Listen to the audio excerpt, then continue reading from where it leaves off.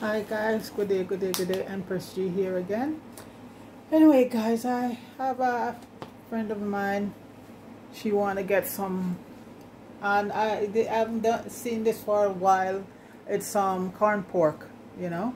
I remember when I was growing up back home, you know, we had a outdoor kitchen with a fireside and, you know, my aunt and my grandmother used to make corn pork and you'd put it over what you call the kreng-kreng And anytime they need a piece, like to do a ackee, corn pork and ackee, they'll go cut a piece and that thing would just cure over there, right? Over here I seen corn pork in the the store, but guys, all they did is just put it in salt and um that's it, it has no flavor. But this how I grew up first um, with um, corn pork, guys. First of all, the pork is washed down properly with your lime and vinegar and all of that. And one of the secret in the corn pork that, because it's going to leave out. You can put it in the fridge if you want, but um, always leave it out and it does not go bad or anything. It stays perfectly, you know, good. But one thing, the first thing up front, you have it has to be well dried. After it wash, well dried and this is like a I think a pork shoulder we use and you cut it up in pieces see and this is why I still have the towel keep drying it because um once the salt go on it the salt gonna cure it and as for um I know people talk about using pink salt or sodium nitrate. I think um in a lot of processed food, food like um hot dogs and bacon and stuff like that sodium nitrate is used. But I think they use a small amount because that stuff, if you read up about it, it can be very dangerous, can cause cancer and stuff like that, you know. So I think they they do when they use it in bacon and stuff like that, they use in within the guideline a certain amount they use. But so and what it does, what sodium nitrate does, they said it um protect the meat from bacteria and stuff like that. But the salt does that and it gives it a color because you when you buy pigtail and I saw I was watching a lot of video back home and folks doing um stew peas and guys the pigtail is so red that's the sodium nitrate that give it that color also so I give it color and they said it um protect the meat from going from spoiling um you know which I grew up with corn pork and you know what it's just the salt that cure it and the salt the salt pulls out all the moisture. So that's why it's, it's able for you to keep it outside for as long as you want or you can keep it in the fridge um, either way but we um, I've done it a few times for people and this is for a friend of mine I'm doing it right now. Because um you know and a lot of time when you cook when I cook um um pigtail and stuff like that I really cook it for other people because I'm you know sort of cut way down. Um not a big you know up I you know I used to love pork but you know what? I don't do too much of it right now. So this is for a friend of mine. I'm doing right now corn pork. And folks um, like I said, one of the basic of it, it has to be, the pork has to be well dried. Um, so we got it, it's cut up. We wash it just like you do in any other meat. I guess some people don't wash it because they say it's cure, and but we wash it with lime, vinegar, and all of that, and well pat it dry. And so this is a pork shoulder you were using. Uh, this is the bone in it, and it's better you get meat with um skin and some fat on it that you get better flavor. You know. Okay, so we're going to be using, I'm using kosher salt, but I grind it up. Um, I find when you grind it up finer, um, yeah, you know, it, it works coarse too, but, you know, I like to grind up. So this is kosher salt. Um, we have some fresh um, thyme. This is a green, fresh green thyme. I have some crushed garlic, some onions, some green um, scallion or green onion. I have some crushed bay leaf I crush up the pimento a bit because you, you know you get a better effect we do them like that and I also have a just slightly crush up some um, cloves also and I have some rosemary and I have this is the root part of the cilantro. And folks um you know like I said people can do um everybody do this stuff how they want to do it. But guys when you do uh, when we do it like this with the um how I grew up with this when you're ready to use this, this is about, um, they said in three days, um, the salt, take it, you can use it, but this, um, I re recommend that you leave it about two, three weeks, and then it get, you know, the longer you, you leave it to cure is the better. And when all of this um, seasoning take if affecting it, guys, when you cook that meat, you know, it's awesome. You know, so first of all we're gonna put in um the garlic. I crush up some garlic and a little piece of ginger. And like i said folks this meat doesn't go bad. If you if you do it wet then you're in problem. But make sure it's totally dry you know and so you can at that scent, you can leave it outside. I'm wearing my gloves. And oh i also have this scotch bonnet there folks um i forgot to tell you that's one of, and folks if you want to give it a little coloring I have a little vegetable color and you could just put over it um, and that's it but you know what it's no big deal because most people um, for coloring and that's what you get from that so sodium nitrate stuff so you know this is it so if in case you want to have it a, a, little color you just put um, some food um, food coloring on it a little red food color. That's the onion there and that's the green this is the green onion. I'm using mostly the green part because you get a lot of flavor in that sense and this is fresh rosemary with a stick and all. And the thyme folks I recommend you use green thyme. Um oh awesome. And this is the root of the cilantro. I like the bottom part. This is where all the flavor is the leaves are good yes but in the the root part down there that's where you get a lot of flavor and the pimento and this is one of the secret ingredients here, one of the main secret ingredients, and along with your clove. And I'm gonna get right now. Uh, let me go get the Scotch bonnet because you know when you said um talking about um you have to have your pepper there, folks. So let me just get grab some Scotch bonnet.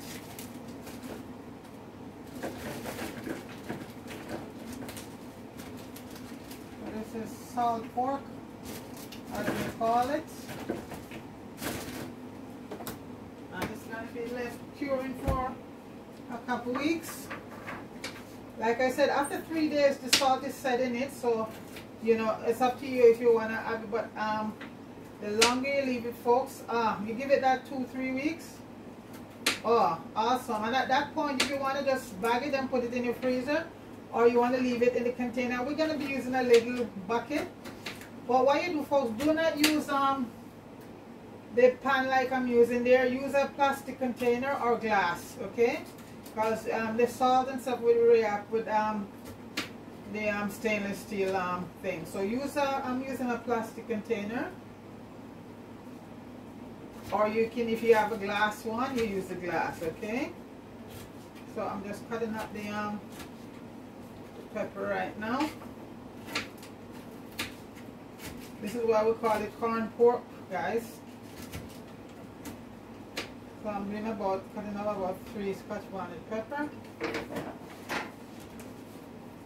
and here it is folks that's why I'm wearing the gloves because I'm not gonna get to this stage so I have about three Scotch bonnet pepper there, folks. That's why we call it corn pork. I'm going to cut another one. She, she loves to eat. She loves a lot of eats in her stuff. So, well, you know, it's corn pork, so you have to have, um, uh, so,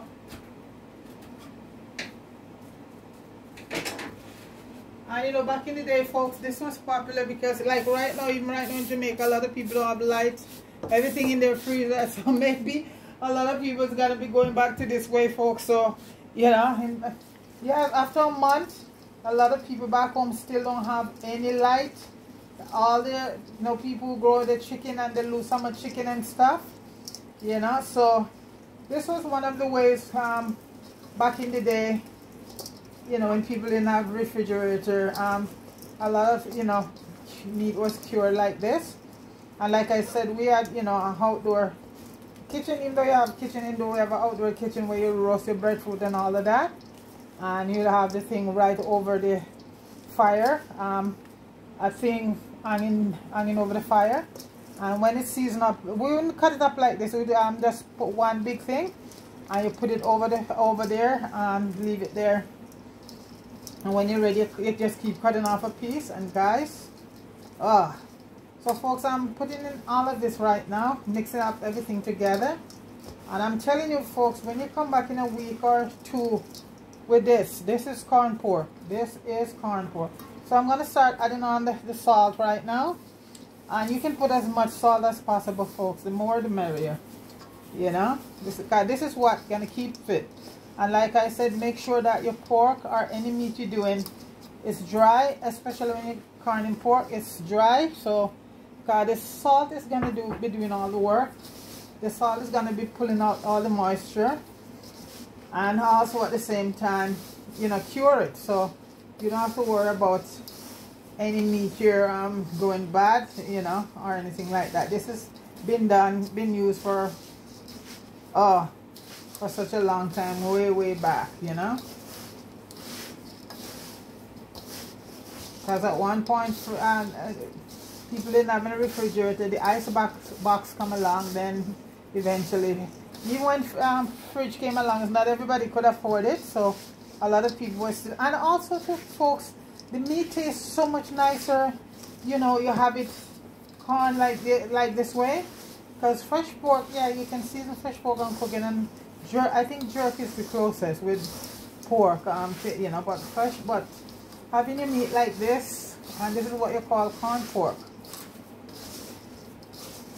So I'm giving it a good rub folks I'm just make sure everything is mixing together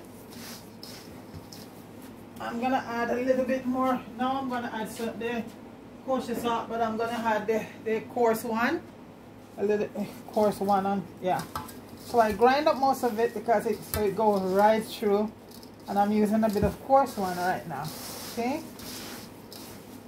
And as I say folks, if you wanna get some color in it, you just rub some food coloring on it. You know, that's it. I think we'd more do that to like stale, you know, because this is corn pork, you know. I have to put any coloring or anything on it. So I am gonna go get my bucket and um and as I say it's gonna stay outside folks um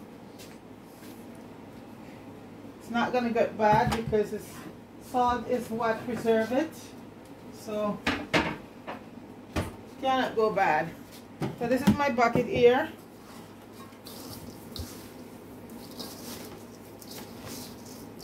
early on I did a video on making my own I start making my own saltfish.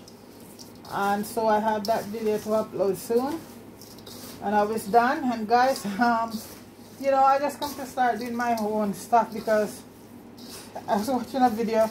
Some of the saltfish in the store I swear they look uh, the, well you know I just buy codfish not the saltfish. Um, the codfish codfish is it's more expensive um, because saltfish is any fish they salted but codfish now it's yeah. So I figure a friend of mine came up and she brought some snook. And I did a video I did a video uh, a couple weeks ago on saltfish and they were, they were ready and I used them and they were so good. So the rest of the fish I just um salted. So I'm making my own saltfish right now folks. So there you go. And it comes out very nice. You could use I, I did use in those fish, I did use um, snook and um, some uh, yellowtail snapper. And guys, oh my gosh, you could not tell that that wasn't saltfish um, from the store. So right now, that's another thing to my resume, making my own saltfish, and it's awesome. So I make I did a video today of that. Um, again, um, because I did some on this finish off. I did that video. My friend brought up. I some snook and that's one of the best fish to do your um your fish. If you don't want to use well old cod um I don't think you can find it. You would have to buy just pieces of cod and salt them. But you can tell the difference with when you salt the cod. The snook it just tastes like codfish. So folks this is the bucket here. See and right now I'm just going to pour more salt over it. And as I say, you can never add too much salt. I'm just going to pour the rest of it. And I'm using um, kosher salt, guys. I crushed some and I'm using some oils. Like a kosher salt is just give it a better, I get a better, better result. Um, pepper, folks. Wow. This is why they call it corn pork. I'm just getting a little bit more salt to add to it. And like I said, folks, um, there's no, when I do mine, there's no limit of how much salt. You, you put the salt that you want. You know, it's better you have enough in there than you have less. Okay, because the salt is the curing agent. Okay, so that's it right there, folks. And what I'm to do, like I said, do not do it in a um, plastic or glass. Okay, that will react with um. Why can't I remember the name? It will. This is not a good thing to cure it in. It will react with this. So use a plastic um, thing or a glass. So folks, this is it right there. See that? That's the corn pork right here, guys. And I leave all the ingredients I use in the description if anybody want to try. And that's why I wear the gloves. and guys, I'm just going to close this down and you just put it down any place because um, as I say it will not go bad because the main ingredient there that is a salt and that's cured you don't need no sodium nitrate or none of that in your corn pork so this is Jamaican corn pork this is how I grew up see my grandmother and my aunt do it and my I think my my mom didn't do much cooking um, I didn't see much cooking around my mom because she leave when we were young. So folks, this is, I'm just to put a label on it. And this is corn pork. And in three weeks, guys, this is to, like I said, in three days, um, the salt is fully taken in it. But the longer you keep it, um, is the better it is. So I'm to I'll open it by the end of the week again and just um, see it going and that's it. But I'm gonna, uh, she's gonna keep it for three weeks. So this is my friend coming to pick this up, I think, on the weekend. So I'll open it again before she comes. So this is Jamaican corn salt pork or corn pork. Okay, for, not not salt, corn pork because this uses a lot of different um, stuff in it. So again, folks, this is it there. I should have turned that light on. Yeah. So this is it there, folks. Can you see? All salted and all that good stuff in there. All those rosemary, the thyme. Uh, the allspices is the main ingredient and the clove. Okay. And you have to have your scotch bonnet pepper in there, folks. So this is it. And your salt is a must. And like I said, folks, you make sure when you, you do it after you wash your pork, you make sure it's well dry. You dry it uh, because um, you don't want any any moisture in it okay so that's it there folks so please like share and subscribe to the channel everybody big up yourself everybody. Um Evelyn I see you there. Big up yourself Evelyn. Um Noreen Ma Melon Murray Deacon Fire Jeremy. everybody big up yourself. Um Debbie everybody big up yourself. So guys um that's corn pork their recipe for it. I'll leave the recipe in the description. Anybody want to try it? So have yourself a wonderful evening guys. Take it easy all right? Peace